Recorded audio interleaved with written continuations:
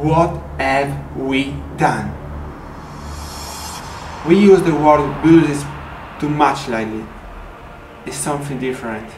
It's not only a person being hit by someone physically. It's something more. It's something that hurts so much more.